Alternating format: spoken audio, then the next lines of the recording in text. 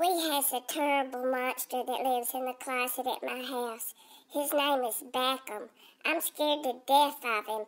Mama gets him out once a day. Him has this long black curly tail that Mama sticks in a hole in the wall, and when her does, him starts growling and running from Mama. Mama has to push and pull and fight with him and throw my toys out of the way so him won't eat them. He starts eating stuff off the floor.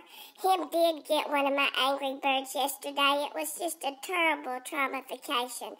But Mama threw him to the floor like her was Chuck Norris, and her saved my angry bird.